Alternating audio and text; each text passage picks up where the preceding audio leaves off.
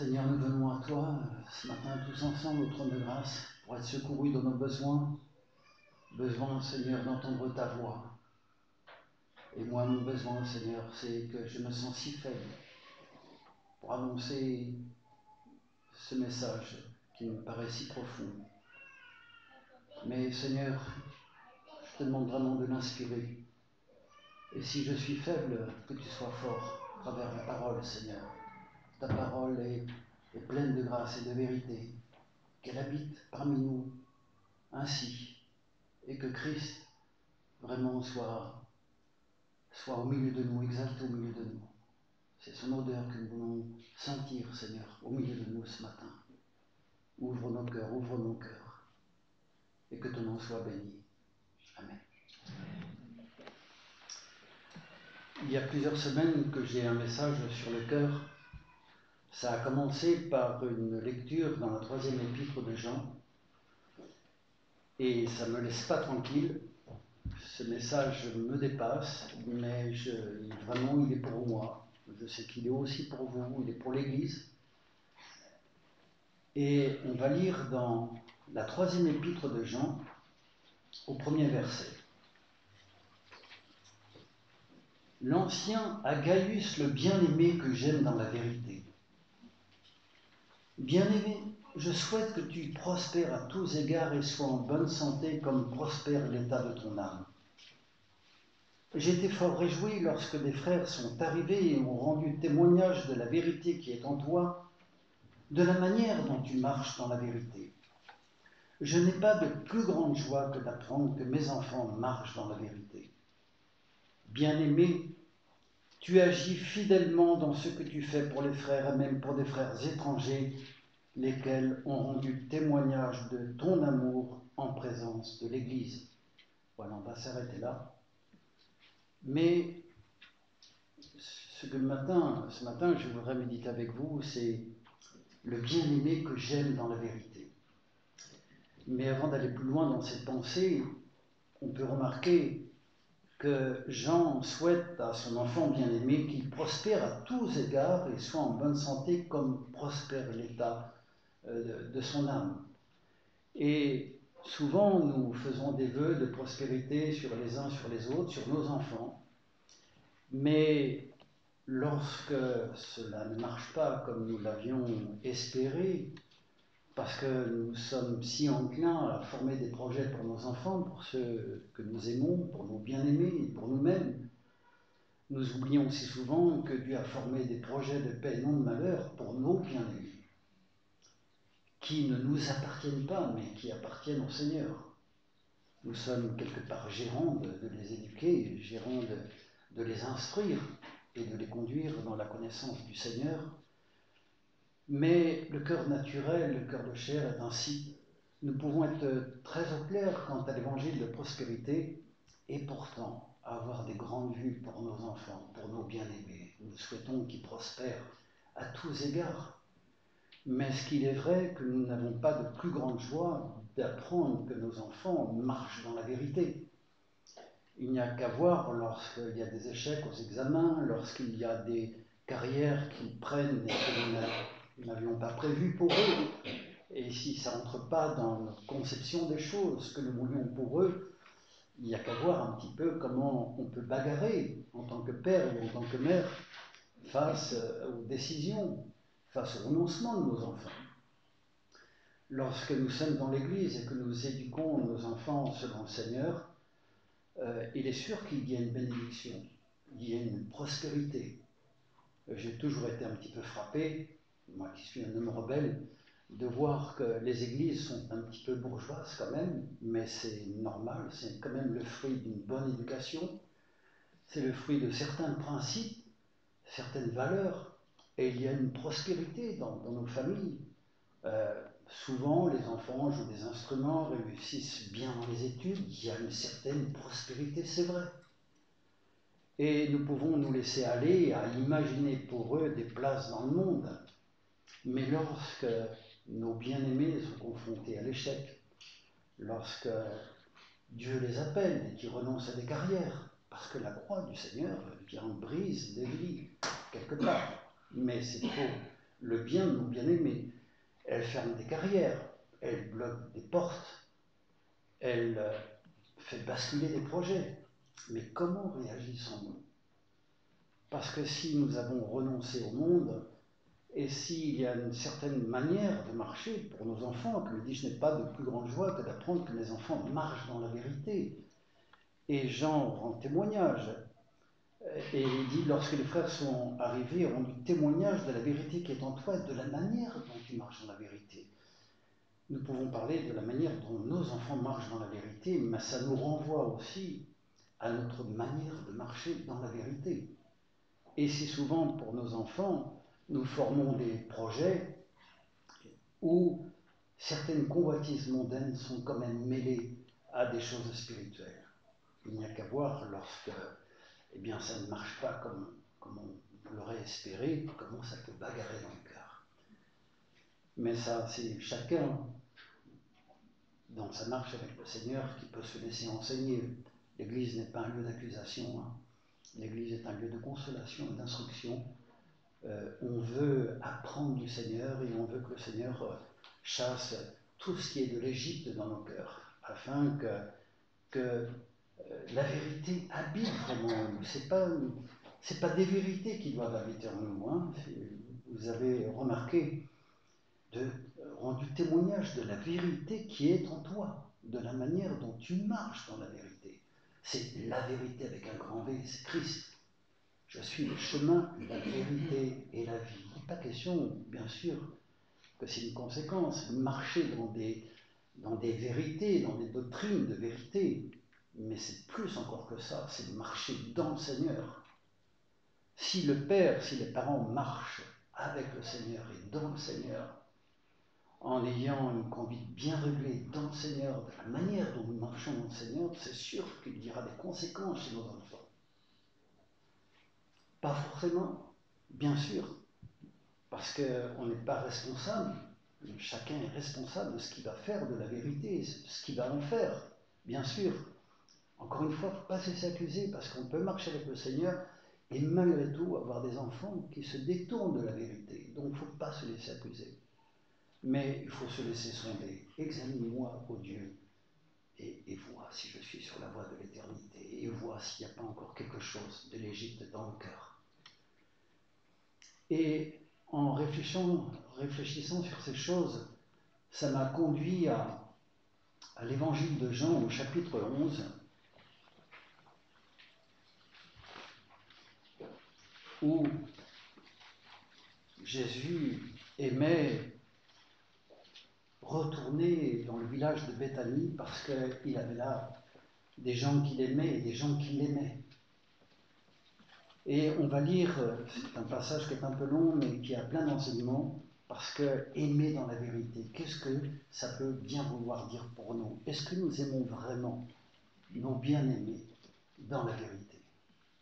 Il y avait un homme malade, Lazare de Béthanie, village de Marie, de Marthe et sa sœur. C'était cette Marie qui oignit de parfum le Seigneur et qui lui essuya les pieds avec ses cheveux. Et c'était son frère Lazare qui était malade. Les sœurs envoyèrent dire à Jésus, Seigneur, voici celui que tu aimes est malade. Après avoir entendu cela, Jésus dit, Cette maladie n'est pas la mort, mais elle est pour la gloire de Dieu, afin que le Fils de Dieu soit glorifié par elle. Or, Jésus aimait Marthe et sa sœur et Lazare. Lorsqu'il apprit que Lazare était malade, il resta deux jours encore dans le lieu où il était. Et il dit ensuite aux disciples, Retournons en Judée. Les disciples lui dirent Rabbi, les Juifs tout récemment cherchaient à te lapider et tu retournes en Judée? Jésus répondit N'y a-t-il pas douze heures au jour? Si quelqu'un marche pendant le jour, il ne bronche pas parce qu'il voit la lumière de ce monde. Mais si quelqu'un marche pendant la nuit, il bronche parce que la lumière n'est pas en lui. Après ces paroles, il leur dit Lazare, notre ami dort, mais je vais le réveiller. Les disciples lui dirent Seigneur, s'il dort, il sera guéri. Jésus avait parlé de sa mort, mais ils crurent qu'il parlait de l'assoupissement du sommeil. Alors Jésus leur dit ouvertement, Lazare est mort. Et à cause de vous, afin que vous croyiez, je me réjouis de ce que je n'étais pas là, mais allons vers lui. Sur quoi Thomas, appelé Didyme, dit aux autres disciples, Allons aussi afin de mourir avec lui. Jésus étant arrivé trouva que Lazare était déjà depuis quatre jours dans le sépulcre, et comme Béthanie était près de Jérusalem, à quinze stades environ, beaucoup de Juifs étaient venus vers Marthe et Marie pour les consoler de la mort de leur frère. Lorsque Marthe apprit que Jésus arrivait, elle alla au-devant de lui, tandis que Marie se tenait assise à la maison. Marthe dit à Jésus, Seigneur, si tu avais été ici, mon frère ne serait pas mort. Mais maintenant même, je sais que tout ce que demandera Dieu, Dieu te l'accordera. Jésus lui dit, Ton frère ressuscitera. Je sais, lui répondit Marthe, qu'il ressuscitera la résurrection au dernier jour. Jésus lui dit, Je suis la résurrection et la vie. Celui qui croit en moi vivra même s'il meurt, et quiconque vit croit en moi ne mourra jamais. Crois-tu cela? Elle lui dit, Oui Seigneur. Je crois que tu es le Christ, le Fils de Dieu qui devait venir dans le monde. Ayant ainsi parlé, elle s'en alla. Puis elle appela secrètement Marie, sa sœur, et lui dit, Le Maître est ici, il te demande. Dès que Marie eut entendu, elle se leva promptement et alla vers lui. Car Jésus n'était pas encore entré dans le village, mais il était dans le lieu où Marthe l'avait rencontré. Les Juifs qui étaient avec Marie dans la maison qui la consolaient, l'ayant vu se lever promptement et sortir, la suivirent, disant Elle va au sépulcre pour y pleurer. Lorsque Marie fut arrivée là où était Jésus et qu'elle le vit, tomba à ses pieds et lui dit Seigneur, si tu avais été ici, mon frère ne serait pas mort. Jésus, la voyant pleurer, elle et les Juifs qui étaient venus avec elle, frémit en son esprit et fut tout ému. Et il dit, Où l'avez-vous mis? Seigneur, lui répondit-il, viens et vois. Jésus pleura. Sur quoi les Juifs dirent, voyez comme il l'aimait. Et quelques-uns d'entre eux dirent, lui qui a ouvert les yeux de l'aveugle, ne pouvait-il pas faire aussi que cet homme ne meure pas? Jésus, frémissant de nouveau lui-même, se rendit au sépulcre. C'était une grotte et une pierre était placée devant. Jésus dit, ôtez la pierre. Marthe, la sœur du mort, lui dit, Seigneur, il sent déjà, car il y a quatre jours qu'il est là. Jésus lui dit, Ne t'ai-je pas dit que si tu crois, tu verras la gloire de Dieu? Ils ôtèrent donc la pierre, et Jésus leva les yeux en haut et dit, Père, je te rends grâce de ce que tu m'as exaucé. Pour moi, je savais que tu m'exauces toujours, mais j'ai parlé à cause de la foule qui m'entoure afin qu'il croie que c'est toi qui m'as envoyé. Ayant dit cela, il cria d'une voix forte, Lazare, sors. Et le mort sortit, les pieds et les mains liés de bandes et le visage enveloppé d'un linge. Jésus leur dit, déliez-le et laissez-le aller.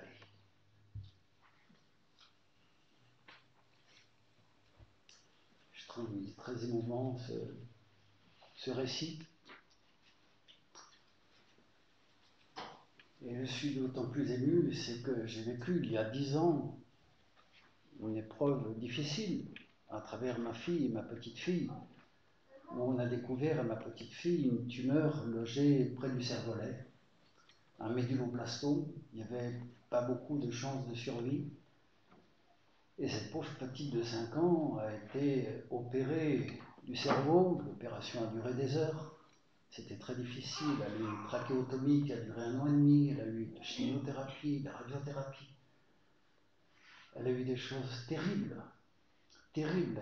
Et lorsque nous étions à l'hôpital de Bré euh, d'Angers, on a attendu pendant des semaines dehors, sans la voir, moi et ma femme, dans le couloir de l'hôpital pour soutenir ma fille, ma fille et son mari, bien sûr. Ma fille me dit à un moment donné, mais pourquoi papa? Pourquoi papa?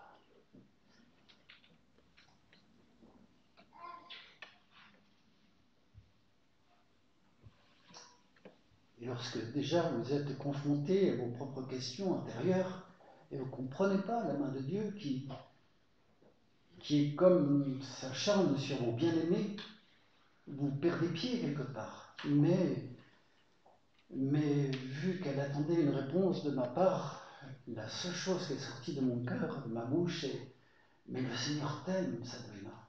Mais le Seigneur, il aime Clara aussi. J'ai pas d'autre explication que ça. Le Seigneur, il vous aime.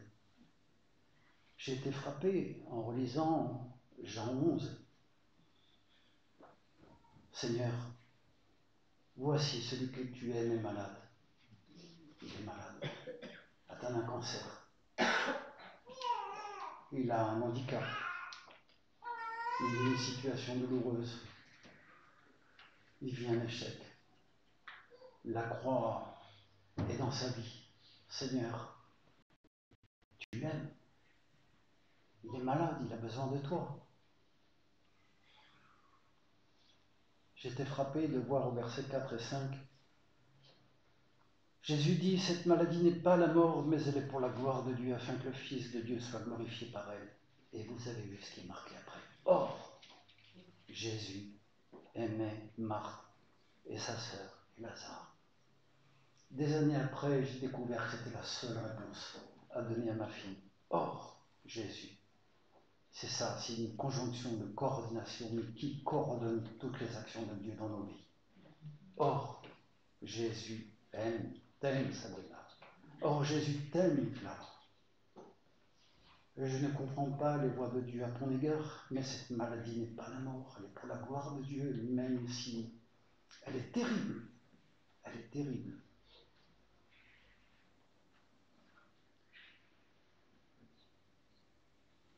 lorsque Jésus attend, il attend deux jours encore. Il attend deux jours. Pourquoi Jésus attendait-il deux jours? Nous, on aime nos bien-aimés. On aime, on, aurait couru tout de suite. Tout de suite. Lorsque nos bien-aimés sont confrontés à, des choses, on a envie, c'est normal, par affection, par amour, on a envie de secourir tout de suite et de changer la situation. Or, Jésus, qui aimait Marthe, Marie et Lazare, il reste toujours dans le lieu encore où il était. Quoi comprendre? Comment comprendre cela? Parce que Jésus ne va pas, il aime Lazare, Marthe et Marie dans la vérité. Il ne va pas bouger par, affection pour eux et pour elle, pour lui et pour elle. Mais vous vous souvenez, le Fils de Dieu ne faisait que ce qu'il voyait faire et entendait dire au Père. Ce qui mouvait le Seigneur, ce qui le meut encore, c'est la volonté du Père. Si le Père ne donne pas le feu vert pour se rendre à Bethanie, Jésus reste dans le lieu où il était encore pendant deux jours. Et à un moment donné, Jésus reçoit le feu vert dans le cœur, si on peut dire. Et alors, il dit, n'y a-t-il pas 12 heures au jour? Parce que lorsqu'il dit, ben, on va y aller maintenant, les disciples disent, mais enfin, comment? Mais dit, les, Juifs cherchaient à te lapider, et puis tu vas y aller. Jésus ne reste pas sur place par crainte des Juifs, il ne se précipite pas par amour pour Lazare, il est mu par la volonté du Père. Il ne bouge pas tant que le Père ne lui a pas dit de bouger. Et il donne cette explication qui a été pour moi confuse pendant longtemps. Verset 9. N'y a-t-il pas douze heures au jour où si quelqu'un marche pendant le jour, il ne bronche pas parce qu'il voit la lumière de ce monde? Mais si quelqu'un marche pendant la nuit, il bronche parce que la lumière n'est pas en lui. Qu'est-ce que ça, Dieu, bien vouloir dire? Un jour en Afrique, on m'a demandé de méditer sur euh, Genèse premier.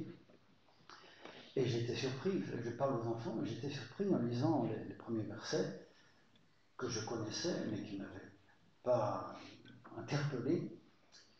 Dieu dit que la lumière soit et la lumière fut. Il eut un soir, il eut un matin, ce fut le premier jour. Et je me suis dit, mais c'est trop cette façon de, de parler du jour. Moi, c'est l'inverse que je dis. Il eut un matin, il eut un soir, ce fut le premier jour. C'est pas l'inverse. Il eut un soir, matin, ce fut le premier jour. Et d'ailleurs, on peut remarquer aussi que le soleil, qui préside le jour, et la nuit et, la, lune à la nuit, ont été créés le quatrième jour. Donc ce n'est pas la lumière du jour ici. c'est une autre lumière. Dieu dit que la lumière soit et la lumière fut. Et je dis, mais pourquoi? Pourquoi? Il y eut un soir, il y eut un matin, ce fut le premier jour. Et puis tout doucement, dans, dans mon cœur est venue cette pensée, parce que nous sommes des enfants de la nuit. Parce que tant que Dieu n'a pas parlé, c'est l'obscurité. Il n'y a rien, c'est la nuit, on voit rien. Mais Dieu n'a qu'à parler. Et alors c'est comme un jour nouveau. Dieu donne sa parole et il appelle à l'existence qui n'existait pas. Et c'est un jour nouveau. C'est vrai pour la création, mais c'est vrai aussi dans nos vies. Quand nous marchons dans l'obscurité et que nous ne comprenons pas les choses, lorsque nous disons Seigneur, parle sur ma situation, parle, je ne sais plus quoi dire, je ne sais plus que faire. Et lorsque le Seigneur parle, il ordonne à la chose et elle existe. Souvenez-vous de cette parole de Jean, toutes choses ont été faites par elle, rien de ce qui a été fait été fait sans elle. Il faut que dans ma vie et dans la vie de nos bien-aimés, tout soit fait par la puissance créatrice de la parole. Nous sommes des enfants de la nuit dans ce monde et en chair, mais nous sommes des enfants du jour et de la lumière, parce que Jésus est la lumière véritable qui, en venant dans le monde, éclaire tout homme. Je suis la lumière du monde, celui qui me suit ne marchera pas dans les ténèbres, mais il aura la lumière de la vie. Croyons-nous cela? Alors ça veut dire quoi marcher à la lumière de ce monde? Eh bien, la lumière de ce monde, quand nous marchons à la lumière de ce monde, nous ne comprenons pas les choses de Dieu. Elles sont nuit pour nous, elles sont obscurité pour nous. Parce que nous n'avons pas l'intelligence, parce que Christ, la lumière, n'est pas en nous le Fils marchait à la lumière du Père et nous marchons à la lumière du Fils, à sa suite. Mais il faut que nous comprenions ces choses. C'est un peu comme ce verset où il dit ôte les souliers de tes pieds, car le, terrain sur lequel tu te trouves est saint. Ça veut dire quoi? Ça veut dire laisse tes raisonnements de côté. Laisse euh, ton ressenti de côté. Ce que tu vois n'est pas la réalité.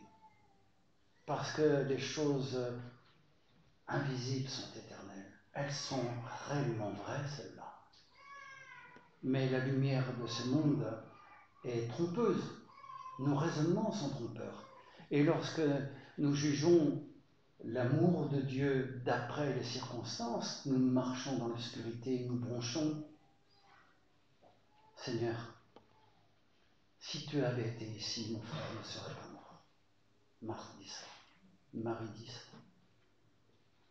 Les amis disent, lui qui a ouvert les yeux de l'aveugle, ne pouvait-il pas faire en sorte que son ami ne meure pas? Parole de mort. Parole de mort.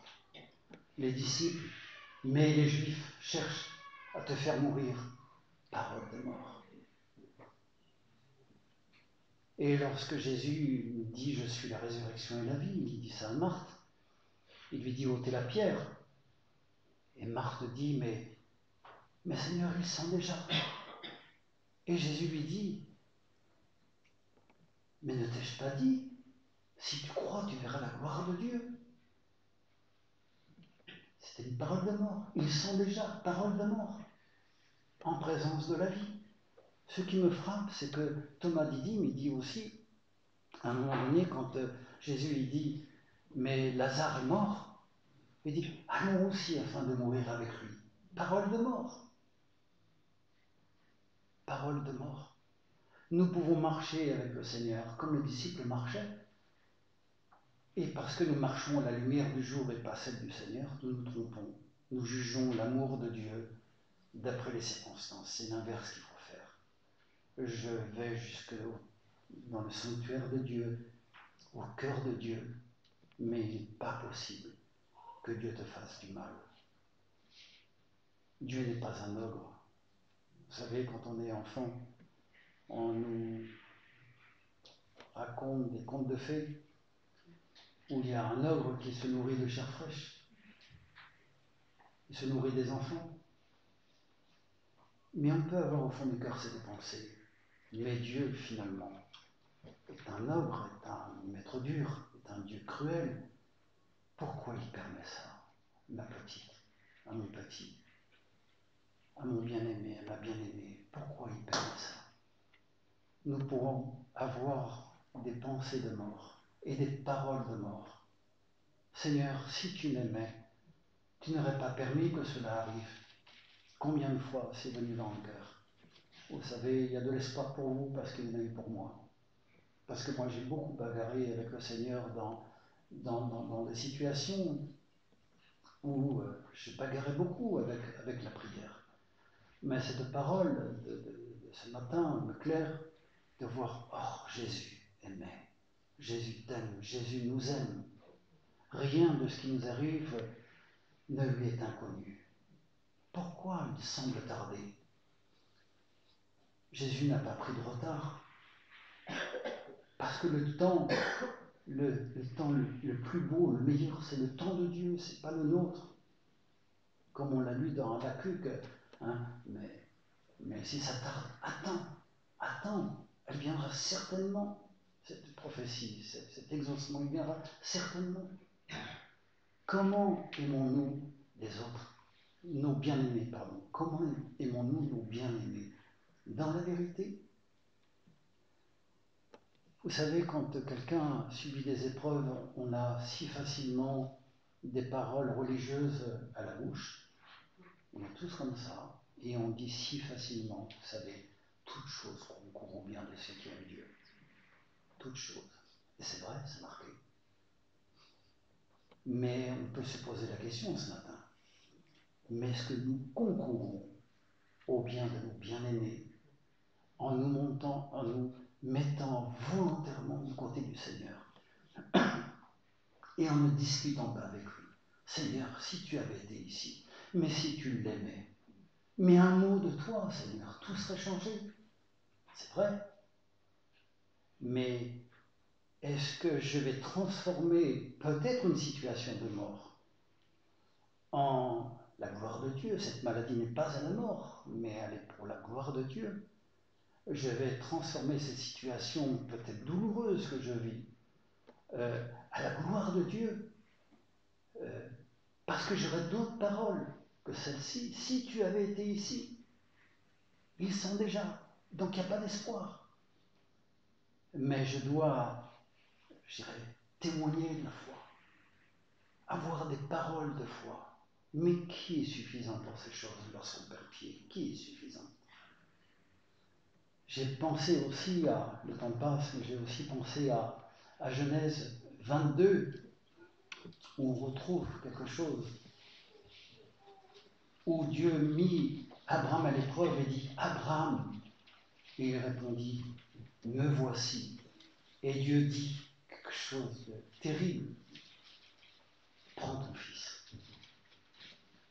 ton unique, celui que tu aimes. Voyez, on retrouve cette expression, celui que tu aimes. Prends-le, celui que tu aimes. Va-t'en au pays de Morija et, là offre-le en sur une des montagnes que je te dirai. Abraham se leva de bon matin, scella son âne et prit avec lui deux serviteurs et son fils Isaac. Il fondit une voie pour l'Holocauste et partit pour aller au lieu que Dieu lui avait dit. Le troisième jour, Abraham, levant les yeux, vit le lieu de loin, et Abraham dit à ses serviteurs Restez ici avec l'âne, et moi et le jeune homme, nous irons jusque-là pour adorer, et nous reviendrons auprès de vous. Abraham prit le bois pour l'Holocauste, le chargea sur son fils Isaac, et porta dans sa main le feu et le couteau. Ils marchèrent tous deux ensemble. Alors Isaac, parlant à Abraham, son père, lui dit Mon père. Et il répondit Me voici, mon fils.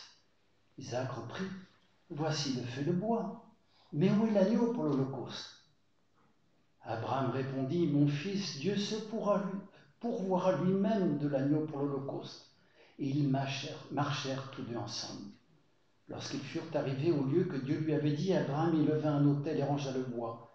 Il lia son fils Isaac et le mit sur l'autel, par-dessus le bois. Puis Abraham étendit la main et prit le couteau pour égorger son fils.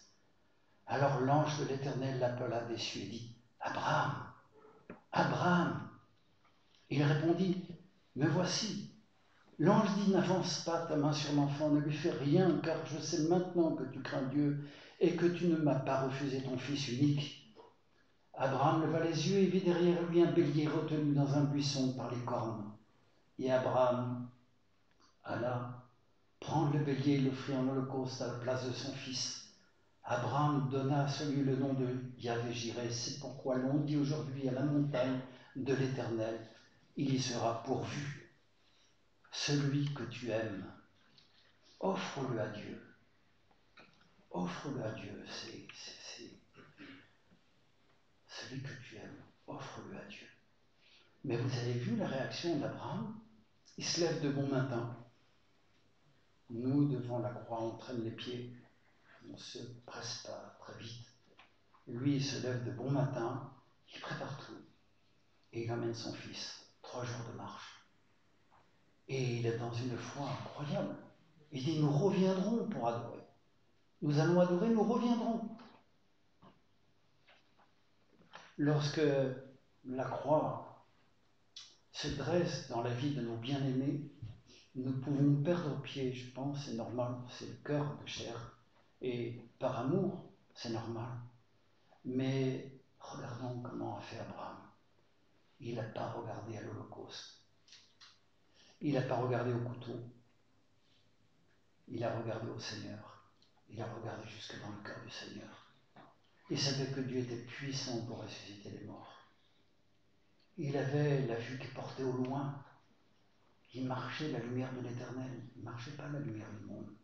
Parce que la lumière du monde n'aurait pas fait ça. Personne ne ferait ça, la lumière du monde. Mais il savait que Dieu, son Dieu est un Dieu d'amour. Et que ce n'était pas un ogre qui se nourrissait de chair fraîche. Mais que son Dieu aimait Isaac comme il aimait lui et que s'il lui demandait quelque chose, s'il permettait quelque chose, que la volonté de Dieu se fasse. Nous reviendrons. Parce que, encore une fois, il ne regardait pas l'Holocauste, mais il regardait au Seigneur et nous. À quoi nous regardons? C'est comme si le Seigneur nous dit, lorsque nos bien-aimés sont confrontés à leur croix, ne retiens pas notre problème ici souvent, c'est de retenir. Nous voulons retenir pour nous. Mais Dieu aime nos bien-aimés plus que nous pouvons les aimer. Et les projets que Dieu a pour chacun, c'est des projets d'amour, comme dit Jérémie. Je t'ai appelé pour des projets d'amour et d'espérance, afin que tu aies un avenir et d'espérance. Allez pour la gloire de Dieu. La gloire de Dieu et notre bien sont intimement liés. Si je cherche la gloire de Dieu, j'aurai la prospérité et j'aurai le bien dans ma vie. Si je retiens pour moi, je perds. Celui qui retiendra sa vie la perdra, mais celui qui la lâchera à cause de moi la retrouvera. Il faut lâcher nos bien-aimés. On ne les livre pas à l'Holocauste, on ne les livre pas oui, au sacrifice les pour nous-mêmes, mais on les livre à l'amour de Dieu. Ça fait toute la différence. On les livre à l'amour de Dieu. Et entre les mains de Dieu, nos bien-aimés, c'est là qu'ils sont mieux gardés. Si je retiens, je vais avoir des paroles de mort. Je marche à la lumière du jour. Si je relâche, parce que j'ai dit, mais Dieu est amour, et que je le confesse vraiment, pas des paroles religieuses, et que je concours au bien de ceux que j'aime, et que je collabore avec la volonté de Dieu, eh bien, alors la gloire de Dieu va aussi sortir de ma bouche, de mes paroles. C'est important de, de saisir cela. Et je reviens à Jean 11, le temps passe, je suis un peu désolé. Mais on voit Marie C'est incroyable au chapitre 12. Six jours avant la Pâque, Jésus arriva à Bethanie où, était Lazare qu'il avait ressuscité des morts. Là, on lui fit un souper, Marthe servait, et Lazare était un de ceux qui se trouvaient à table avec lui. Marie ayant pris une livre d'un parfum de pur de grand prix, oignit les pieds de Jésus et lui essuya les pieds avec ses cheveux, et la maison fut remplie de l'odeur du parfum. Et, lorsque les disciples critiquent Marie en disant on aurait pu vendre ce parfum et le donner aux pauvres et tout, Jésus répond mais elle l'a fait d'avance pour ma sépulture. Marie est cette image de cette femme soumise au Seigneur. Elle est à ses pieds, elle écoute la parole, elle reçoit la parole. Et là, si elle a d'avance embaumé le Seigneur pour sa sépulture, ça veut dire qu'elle accepte la volonté du Seigneur pour le Seigneur. Elle accepte la volonté du Père pour le Fils. Elle se courbe. Elle rompt le vase à battre et le parfum pur d'un grand prix euh, envahit toute la maison. Et je pense que c'est aussi ça que nous sommes appelés à vivre. Est-ce que nous retenons, comme les chrétiens de Césarée, dans Acte 21, je crois, où il est dit, lorsque Paul va saluer et qu'il est en route vers Jérusalem, et qu'il voit les disciples de Césarée, il y a un prophète qui s'appelle Agabus et qui monte de Judée pour dire voilà ce qui va arriver à l'homme à qui appartient cette ceinture. Il sera emmené lié à Jérusalem et sera livré entre les mains des païens. Et les disciples, quand ils entendent ça, ils disent Paul, ne monte pas à Jérusalem. Et Paul dit Mais que faites-vous À me briser le cœur en pleurant et m'en retenant. Je suis prêt non seulement à être lié à Jérusalem, mais à mourir pour le nom de mon Seigneur. Vous voyez on retient. Pierre retenait, Adieu nous plaît, Seigneur, cela ne t'arrivera pas. Marie, elle, elle embaume d'avance pour la sépulture. Et parfum le nard pur de grand prix. Nous sommes appelés aussi, parce que nos cœurs sont un peu comme ce vase d'albâtre, lorsque nous sommes confrontés à la croix de nos bien-aimés, notre vase se rompt. Mais qu'est-ce qui va en sortir de ce vase? Des paroles de mort? Ou le parfum, le nard pur de grand prix? C'est quoi? Qu'est-ce que ça peut signifier pour nous? C'est pas un péché de dire Seigneur, guéris mon mari, guéris ma femme, guéris mon enfant. C'est pas un péché. Le péché, c'est de s'opposer à la volonté de Dieu. Encore une fois, c'est d'avoir des paroles de mort, c'est de marcher la lumière de la terre. Ce que le Seigneur m'appelle, c'est à collaborer avec lui et à prier comme lui, comme Jésus a fait. Père, si tu voulais que cette coupe s'éloigne de moi, non pas toutefois ce que je veux, mais ce que toi tu veux, Seigneur. Trois fois il a prié comme ça. Nous pouvons prier plein de fois comme ça. C'est pas un péché. Et nous offrons au Seigneur le parfum, le nard pur de grand prix qu'est Christ. Parce que si cette prière-là s'échappe de nos cœurs, c'est la prière du Seigneur. Et c'est lui le nard pur de grand prix. Nous n'avons pas une bonne odeur en nous-mêmes, mais la bonne odeur pour le Père, c'est l'odeur du Fils. Et si je dis Amen, Seigneur, s'il était possible, toutefois non pas ma volonté, mais ta volonté. Il y a un livre que j'aime, même s'il est bien fermé pour moi, malheureusement, c'est le Cantique des Cantiques. Je vais peut-être terminer par ça. Il est dit,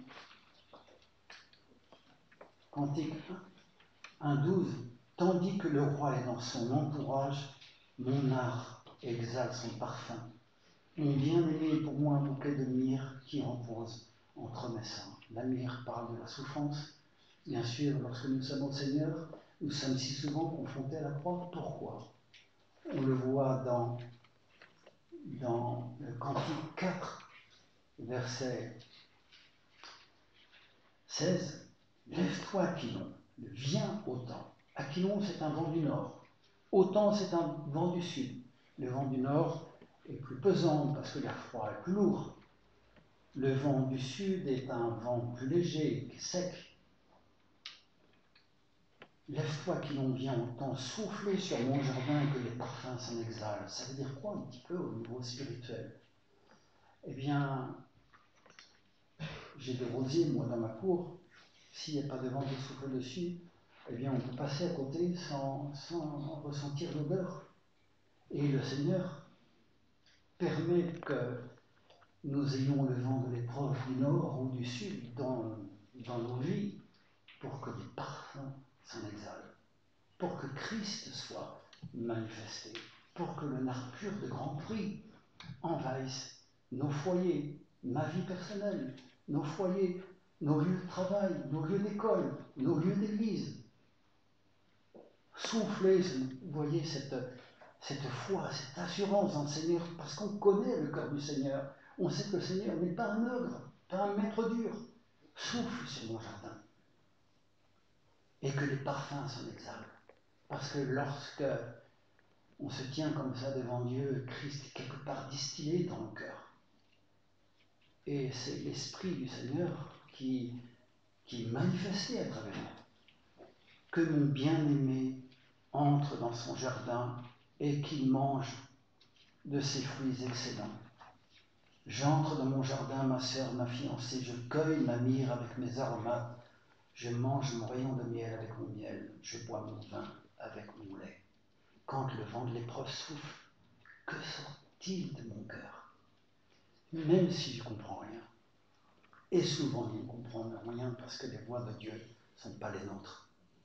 Mais nous sommes appelés à faire comme cet enfant qui est tombé, qui s'est blessé, et qui se met à hurler, qui pleure, et qui va se réfugier dans les bras de son père ou les bras de sa mère, et qui sanglote, des pleurs d'amour, des chagrins d'amour. C'est un peu ce que nous parle ce cantique, de l'amour. Je ne comprends pas les voix de Dieu à l'égard de mes bien-aimés, mais je peux me blottir au creux du Seigneur, près de son cœur, sangloter. C'est pas un péché de sangloter quand on pleure pour ses bien-aimés, parce qu'ils sont éprouvés. Le cœur se brise comme ce vase d'albâtre. Pensez à Marie lorsqu'elle voyait la croix avec Jésus dessus une épée te transpercera le cœur, afin que les pensées de beaucoup de cœurs soient dévoilées. Parce que lorsque l'épée nous transperce le cœur et que sort le nerf pur du Grand Prix, eh bien, nous devenons des témoins véridiques. Nous aimons dans la vérité les nôtres. C'est, je pense, le plus grand encouragement qu'on peut donner à nos bien-aimés la plus grande aide qu'on peut, c'est se tenir devant Dieu, c'est se tenir dans la vérité, c'est se tenir dans l'amour. C'est regarder au cœur de Dieu pour eux. Dieu ne leur veut pas de mal. Dieu veut se glorifier dans la vie de mes bien-aimés. Et Dieu veut ma collaboration. Et qui sait? Et qui sait? Si Dieu ne fera pas comme il a fait avec Abraham, Ça, ça m'a frappé. Qu'est-ce qu'il a fait Dieu? Il a retenu la main d'Abraham. Ça ne fait pas de mal à l'enfant. Et il lui a montré un bélier qui était retenu dans le buisson. Retrouve encore cette notion. Si moi je retiens, Dieu ne peut pas relâcher dans ma vie. Si moi je relâche dans ma vie, Dieu peut relâcher dans ma vie. On le voit pour Jonas encore ce matin, la prière puisqu'à un moment donné, Jonas a, rendu les âmes, eh bien Dieu a parlé au poisson et le poisson l'a rejeté. Vous voyez, il ne l'a pas retenu.